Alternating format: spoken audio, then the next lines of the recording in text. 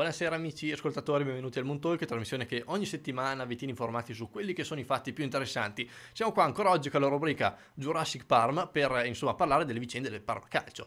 Siamo qua e siamo Andrea e Francesco in Ciao. regia, bentornato Francesco Ciao, ciao. all'esordio stagionale per, per, eh, parlare del Parma Calcio, quindi di, di questa nuova rinascita e di questa corsa verso le serie, speriamo, superiori alla Serie D. Ecco. Parma la Fenice. la Parma alla Fenice, ecco. Quindi Phoenix Parma. Phoenix Parma era uno dei nuovi titoli che volevo usare per la rubrica, poi alla fine ho- scelto Jurassic Parma. Se avesse anche il nome della nuova società, io l'avrei. Parma votato. Phoenix. eh, Phoenix Parma l'avrei sacco. Carino, carino. Eh, la prima grande differenza che troviamo tra la Serie D e la Serie A è eh, la differen- quello che abbiamo messo nel titolo di fatto, perché cavolo, eh, in sole due partite abbiamo visto tre rigori, quindi la D è un campionato di rigore, cioè è una cosa incredibile. Che gioco di parola, come sei bravo. Però è vero, eh, non so se è il sistema arbitrale che magari è più flessibile sui contatti in area oppure eh, il- proprio lo stile di gioco della Serie D che ehm, causa tanti rigori. Eh, sono partite che spesso si decidono con i calci di rigore, almeno per adesso sembra così. Per adesso sì. E quindi insomma anche molto in mano al caso perché se al rigore alla fine hai quasi il, cos'è, il 70 e 30 di probabilità di segnarlo, di, di pararlo, insomma eh, va molto in mano al caso. E- però sono partite comunque divertenti, ecco, ci siamo Sì, divertiti, sì, una sì. partita che comunque non era facile contro una squadra che si è arroccata in difesa praticamente per tutto Ma infatti l'incontro. a me io non ho visto tanta differenza fra Mm. una partita di Serie D e una partita di Serie A adesso, eh. No, non hai visto grandi differenze, No, no. addirittura. Vabbè, comunque la partita che con una squadra che eh, ha avuto la fortuna di andare in vantaggio dai primi minuti, poi si è ehm, arroccata, già giocava per il pareggio, stava vincendo eh, tutti dietro Sì, praticamente. hanno difeso in 10 Sì, praticamente. hanno difeso molto bene, c'è da dire, hanno fatto veramente una bella partita e mm, il problema è stato quindi cercare di riprendere questa partita e di poi di, di portarla a casa. Ecco, insomma, è stata una bella prestazione del Parma, a mio avviso comunque, ha avuto un problema di disattenzione nei primi minuti, però dopo è riuscito insomma a risollevarsi con le indubbie qualità superiori della nostra squadra nei confronti dell'altra. Eh, la vedi anche te così, Francesco? Sì, assolutamente. Il Parma è superiore, almeno le prime due partite hanno dimostrato questo. Mm. Ha una qualità superiore alle altre. Ovvio che anche le altre squadre penso che ormai lo sappiano e quindi... Quindi si barricano Sì, dietro. eh, poi è difficile trovare spazio anche se sei più forte in una difesa di 10 persone, Mm. ovvio, infatti è stato difficile. Poi alla fine, insomma, arriva, deve arrivare il gol, cioè gli altri non hanno visto palla e prima o poi doveva... Il singolo ha colpito. Sì, c'era comunque la certezza anche in, in curva che prima o poi ci sarebbe stato il gol, oppure c'era un po' di timore di- del tipo adesso perdiamo anche 1-0 contro questi. No, no, no, alla fine c'era fiducia e anche perché per la legge dei grandi numeri cioè, non, non si può, cioè se attacchi tutta, hai la palla tutto, per tutta la partita, Prima o poi doveva prima o poi deve entrare, sì sì. Queste erano le tue, le tue impressioni. eh, Francesco era anche presente allo stadio, l'abbiamo detto, in curva, sud, eh, in curva nord, scusate. Curva sud, sì, da Eh, solo. da solo in curva- di curva nord e ha anche catturato alcune impressioni da parte del pubblico presente, quindi ce le andiamo subito ad ascoltare. Eh, sentiamo il primo. Allora, sono contento della partecipazione del pubblico innanzitutto, perché era la prima in casa, non si sapeva bene. La curva era abbastanza piena, la tribuna piena. La squadra è quello che è, però si è impegnata. Melandri e Longobardi forse i due migliori, diciamo, però genericamente è un bel gioco. Secondo me il Parma ha giocato bene, ha fatto tutta la partita, quindi vittoria meritata, grande Longobardi. Eh, la partita è stata bella, mi è piaciuto soprattutto il numero 9, Longobardi, è un vero bomba, è stato bravo. Longobardi è un vero bomber, eh, comunque. eh, È Era piaciuto- l'idea di tutti, insomma. È piaciuto molto, eh? eh, Non so se era anche la tua impressione. Longobardi veramente ha fatto una bella impressione, o no? Sì, sì, ha risultato davvero bomber, quello che la È gente è risultato un po' alla Barbuti, no? Si è detto Sì. in- questi giorni. Ha risultato per 20 un minuto buono, infatti dopo è stato ammonito. È stato ammonito per... Era troppo... Eh sì, però è un affogato. regolamento, insomma, eh, se esulti troppo viene ammonito. E, però vabbè, munizione ben spesa perché c'era tutto questo entusiasmo del, Sì, del sì. primo gol su al Tardini, magari chissà quanto tempo l'aveva sognato, è arrivato, si è impegnato tantissimo per la squadra, ma su- adesso a proposito... Sai cosa facciamo? Andiamo subito a vedere i top e i flop di questa partita. Faccio Ok. una gr- grossa, grossissima premessa. I flop in realtà non sono flop, ma sono giocatori che hanno brillato meno di altri o da cui ci aspettiamo di più, che vorremmo vedere meglio. Mm. Eh, perché in questa partita di veri e propri flop non ne ho notati. ecco, No, insomma, anche il perché quando è- fai un possesso Sì. del... cioè, illimitato. Illimitato, è- Eh, eh, però c'è da dire comunque il Parma ha giocato bene, eh, quei giocatori che abbiamo messo sono giocatori da cui ci aspettiamo magari un po' di più, però comunque non, hanno gioca- non è una prestazione totalmente insufficiente.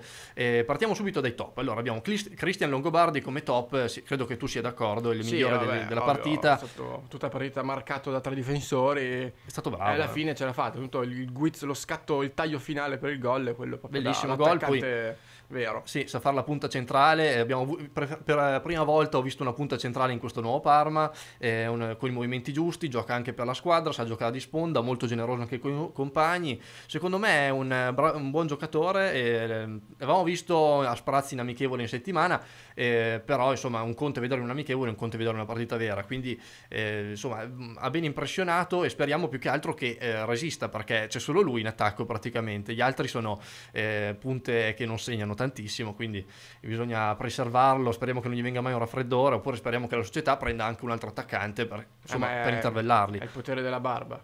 Ah, quando, quando ha la barba dici che è forte. Sì, sì. Se se la taglia non, Mm, non sarà mai più forte. la sua- il suo talento. Comunque è l- l'attaccante che ci serviva anche per sbloccare le partite più difficili, insomma quello che avevamo detto anche in precedenza e ne abbiamo avuto la dimostrazione, una partita veramente ostica con eh, una squadra che si difendeva in 11 uomini, eh, è, bastato il- è, è servito il colpo dell'attaccante vero, l'attaccante di Arazza e quindi eh, come diceva il nostro ascoltatore è un vero bomber, un vero bomber, l'ha, l'ha sì. sbloccata lui, l'ha sbloccata lui. Poi abbiamo Zommers, eh, Cioè, non ha visto pare tutta la partita, giusto meno male. mi potresti obiettare, non ha visto parla tutta la partita, però ha fatto l'intervento nel eh, secondo finale, ecco, insomma, Sì, l'ultimo fischio finale ha fatto questa parata che ha salvato il risultato, ecco, Sì. devo dire, parata molto bella sul suo palo, è vero, però comunque essere, rimanere in- ehm, inoperosi tutta la partita e poi fare l'intervento decisivo all'ultimo secondo, secondo me merita comunque Sì, sì, sì. una menzione nei top di questa squadra. Assolutamente. È un portiere che era molto criticato eh, dalla- mm, Oh.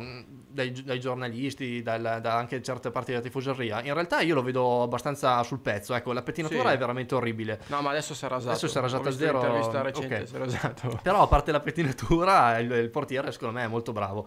Eh, Giorgino, ho messo Giorgino, sei d'accordo Francesco? Giorgino Corapi, per me sono una persona unica. Cioè, a centrocampo ci sono loro, sono quelli che fanno la, Corapino. differ- sì, sì, fanno la differenza di tutta la squadra, loro due. Sì, mi. Mi piacciono veramente tantissimo questi due di centrocampo. eh, la partita scorsa abbiamo messo Corapi, questa qua abbiamo messo Giorgino perché eh, secondo me ha dato questo, que- la sostanza a centrocampo, ha sostenuto la squadra, ha chiuso gli spazi dove si andavano ad aprire e ha anche un po' impostato il Sì. gioco. Rispetto a Cora- Corapi ha sbagliato un po' più di passaggi Sì, questa volta, però comunque cioè, non si può dire niente. Giorgino invece che fa un altro gioco, un altro- fa più- gioca più Fa- di fa più legna, legna. insomma si, si vede di più. Insomma, non- Però ha veramente sbagliato poco, ha fatto veramente una bella partita. Passiamo ai flop. L'unico vero flop che come al solito mi sento di eh, dire, se- seconda partita consecutiva, è Marcello Sereni. Marcello Sereni ormai dirà, "Oh, ma ce l'hai con me, cosa ti ho fatto? E in realtà niente, però No, dai, purtroppo... ma non è vero, io, eh, io credo in lui. Cioè, Mettilo pure full screen, Francesco. Eh, purtroppo, eh, insomma, è, è molto fuori dal gioco questo ragazzo. Non, è- non l'ho visto inserirsi bene nei, nei meccanismi e vorrei vederlo, insomma, più presente e con più responsabilità addosso. E purtroppo, forse sente un po' l'emozione del- di giocare con questa maglia, di giocare davanti al Tardini. Però, so. insomma, a te non è piaciuto? O- Ma né, né- più né meno. Si è cioè, visto ovvio- poco, ecco. Ma no, ovvio che se hai la palla ci- per 50 minuti, cioè, poi fai anche più errore, quello Sì. è normale. Cioè. Eh, c'è da dire che se- probabilmente si è visto anche poco perché ehm, essendo tutti schiacciati nella tre quarti campo eh, le ali finiscono per essere praticamente a livello delle bandierine devono tornare indietro comunque hanno pochissimo spazio e non possono muoversi molto e quindi il loro lavoro è veramente difficile Eh, di lui ricordiamo qualche dribbling però molte palle perse e a tratti veramente eh, insomma è scomparso dal gioco però comunque la qualità del giocatore potrebbe esserci ecco. io comunque continuo a credere in lui qui avrei messo anche Lauria fra i top. Mm.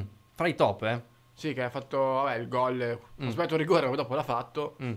E poi mi sembra che ha fatto anche il- l'assist a Gobardi. Non, non sono, non sono Eh, sicuro. no, non credo. eh, però vabbè, comunque ha giocato bene. Ecco, Si chiama Fabio, allora è stato lui, non mi ricordo. Ok, e mentre possiamo parlare di Andrea Vignali, Andrea Vignali, eh, ok, Francesco mi dice ha giocato 10 minuti perché lo metti nei flop, lo metto nei flop paradossalmente per dargli spazio, perché voglio parlare un attimo di questo ragazzo che eh, in questa partita magari in questi 10 minuti non ha reso come doveva, però secondo me è un bravo ragazzo che potrebbe giocare attaccante esterno anche al posto di Sereni, ecco, dicendola tutta. Eh, mi, Eh, mi era lui- piaciuto nella partita precedente, eh, volevo metterlo nei top nella partita precedente, ma comunque aveva giocato poco, l'ho messo nei flop in questa partita perché non ha reso, magari non ha dato quella, quell'energia che si chiedeva entrando in campo, però a me è un ragazzo che a me piace particolarmente, quindi vorrei vederlo. No, Vignali è il, è il Sansone di qualche anno fa. Cioè, entra negli ultimi 20 minuti, fa i suoi numeri dal massimo per 20 minuti. Sì, Mm. Ok, quindi ti piace questo ragazzo? sì. sì. Ok, e l'ultimo flop, anche questo è un flop di incoraggiamento, possiamo dire, è Daniele Melandri, da cui ci aspettiamo sempre magari la luna e che non ha brillato in queste prime due Eh, ci sono partite. molte aspettative. Ovvio che poi il gol arriverà, insomma, Sì. la quasi. Ci arriva, è sempre lì, insomma. dai. È stato molto schiacciato, non ha trovato spazi, un po' come per Sereni, eh, però nell'ultima, nell'ultima fase di partita, quando il, quando il Villafranca si è un po' ha, tentato di pareggiare la partita, avendo più spazi, insomma, ha anche rischiato Sì, il infatti. gol. eh, insomma, quando poi si è visto che aveva delle praterie da correre, eh, nel dribbling è forte, negli inserimenti è forte, però quando il, gioco Anche- latita nella tre quarti campo fa Nello molta fatica. stretto fa fatica, insomma, Sì. come ogni fascia, Com- Fasciaman. fascia agile. Ci vedo molto in lui, insomma. Eh, ti rivedi in lui, insomma, Sì, ti, ti senti il Melandri del- degli amatori. Sì, nella, nella densità non ci riesco, però quando c'è il campo largo io vado. eh, Ok, ciao. Però da questo giocatore ci aspettiamo sempre la luna quindi lo puniamo questa, questa volta, ma solo per incoraggiarlo a dare di meglio. Sempre parlando di calciatori che mi hanno favorevolme- favorevolmente impressionato, eh, possiamo parlare dei due, i due bimbi, i due terzini eh, Adorni e, e Rossi che secondo me eh, hanno fatto veramente molto, molto no, Ricci scusate, Ricci, Eh, Ricci. eh, che secondo me hanno fatto veramente molto bene, eh, bravissimi soprattutto nella fase propositiva, nella fase di difensiva un pochino di meno, hanno avuto qualche amnesia, però comunque è una partita di livello secondo me. Tu Sì, cosa ne sì. pensi? Giocato bene. Poi sì, sono eh. molto giovani, no? Eh, eh, hanno grandissime responsabilità addosso e li affrontano bene secondo me. Sì, non si vede neanche la, No, non si differen- vede. la inesperienza, diciamo. Alla fine, forse Adoni deve aggiustare un po' il piede destro, però poi il resto. Però crossa, crossa con tutti e due i piedi, è molto bravo. Eh? Sì, insomma- Nel dribbling è bravo, si propone sempre, grande corsa, grande generosità. Quindi Eh, insomma, diciamo che hanno due centrali che comunque sanno cosa dirli perché hanno vabbè, sì, sono espertissimi, cavolo. Caccioli e Lucarelli che insomma cioè, gli- è giusto che ci siano loro a, Insomma, a, a a regolarli. eh. regolarli. Ok, da sottolineare anche la risposta del pubblico, eh, secondo insomma, dati ufficiali 10.258 spettatori, in realtà un po' di meno perché gli abbonati non vengono praticamente conteggiati, cioè si contano i 9 nove- 9.770 e rotti abbonati, Mhm. come se ci fossero sempre presenti, in realtà magari non erano tutti presenti, e soprattutto quelli in curva secondo me non c'erano totalmente. Ma me ehm, sì, cioè. Beh no, un pochi- la curva era- negli spicchi più laterali era vuota, però c'è da dire che la curva comunque si compatta sempre al centro, quindi viene difficile capire quanti posti manchino effettivamente.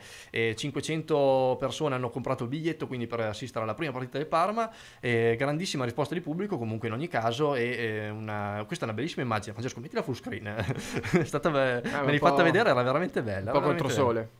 No, ma è bella anche per questo, insomma, eh, di- come possiamo vedere, tribuna Petitò tutta praticamente esaurita. Sì, ma neanche quando c'era, la Juve- la Juventus eh, Tardini che era così piena. curva abbastanza piena, quindi insomma una buona risposta di pubblico per la prima partita non era semplice perché ricordiamo fino a 10 minuti prima della partita diluviava, quindi eh, insomma magari si poteva pensare che la gente preferisse stare a casa a giocare a briscola o vedersela su Sky, Eh, quindi grande risposta di pubblico e insomma mh, complimenti a tutti quelli che sono stati presenti. Eh, prossimo avversario, passiamo un attimo al prossimo avversario o devo dire delle altre cose Francesco, non mi ricordo più. Mm, vabbè, Prossimo avversario. prossimo avversario. Prossimo avversario, eh, allora sarà la Fortis Juventus. eh, L'anno scorso giocavamo contro la Juventus, quest'anno contro una formazione quasi simile. Ecco, possiamo Ah, dire. no, sono fiorentini questi. Sono fiorentini, esatto. E vede- infatti potete vedere il giglio tagliato a metà nel loro stemma. eh, una formazione che eh, insomma è una mm, formazione discreta per il campionato di Serie D. Ha concluso a metà classifica l'anno scorso. e, mm, insomma, ehm, zona Mugello. Ci sarà questa trasferta infrasettimanale in questo stadio da 2500 posti che si chiama, eh, come si chiamava Francesco? Eh, eh, Giacomo Romanelli, Romanelli. di Borgo San Lorenzo. 2500 posti a sedere, eh, stadio su cui attualmente si stanno facendo dei lavori per poter rendere insomma, ehm, utilizzabile al massimo la tribuna ospiti. Eh, si prevede che insomma 200 persone, 200 tifosi del Parma seguiranno la squadra nonostante insomma, la- insomma, il, il giorno proibitivo perché come è un giorno in cui si andare in lavora. trasferta? Eh, bisogna sentire il centro coordinamento Parma Club oppure i boys che fanno le loro trasferte. E per il- invece per comprare i biglietti eh, basta andare insomma davanti al Tardini, c'è questo, eh, questo- quello che prima era il Parma Store, no? Il- Sì. eh, a comprare i biglietti per la trasferta, costano 10 euro, anche qui il costo di 10 euro è un po' eccessivo forse per, la- per le partite, però insomma Ma no, ormai credo sta, che sarà dai. sempre così. Eh, ci sono- c'è stata qualche lamentela in passato, vabbè, 10 eh, euro, ce la dai, teniamo. Ehm, 15 euro autostrada, poi Pranzo al sacco, benzina a 20 e basta. No, tra l'altro sono dei posti in cui si mangia veramente bene, quindi magari vale anche la pena mangiare in qualche trattoria, in qualche insomma, posto eh, consigliato dalla guida Michelin. E, ehm, tra l'altro Borgo San Lorenzo vicino al, al Mugello, insomma un posto bellissimo, Toscana, peccato che è infrasettimanale, se no magari la domenica tantissime persone avrebbero seguito la squadra. Mm. E, l'evento sarà trasmesso anche su Sky, sul canale Sky Sport 1, eh, esordiamo sul canale Ammiraglio Io, e poi su Sky Super Calcio. Eh, brevemente, quale sarà il pronostico di questa partita, Francesco, secondo te? beccatevi questo Reggiani, scusa, scusa. Ah, ok. Volevo, come loro non sono contenti. Quale sarà il pronostico di questa partita? Eh, non lo so, non conosco la squadra, non saprei dirti. Quindi, eh, secondo te prevedi un Parma che È come al solito. Adesso la Fortis Juventus mi sembra che le partite scorse non abbia fatto a, risultati. a tre punti eh, ha perso contro l'Alto Vicentino, che è la squadra la nostra principale avversaria, ha perso 2-1. Eh, però insomma non è una formazione totalmente insomma Vabbè, di- di non impreparati. possiamo conoscere, cioè non siamo pratici della, se- della, della Lega, quindi... sei eh, speranzoso Sì, sì, vabbè, ovvio, bisogna vincerle tutte, Quindi almeno. bisogna vincere e lotteremo per vincere Sì, ovvio. ok Certo. anche secondo me ci sarà una vittoria magari sofferta però insomma è necessario continuare a vincere se ma, no ma ci stiamo tutti qui dentro, io non, non lo so. non lo so, vabbè, ci proveremo. magari una alla volta. In calma, facendo turni, non lo so, magari Sì, ci sì. Per il Montalk è tutto, vediamo appuntamento la prossima settimana, sempre il martedì, mercoledì, dipende un po', questa settimana usciremo martedì per, eh, a sa, causa del punto del, del turno infrasettimanale, la prossima settimana torneremo probabilmente il mercoledì, e vi diamo un augurio di una buona settimana e come sempre, forza Parma. Ciao! Are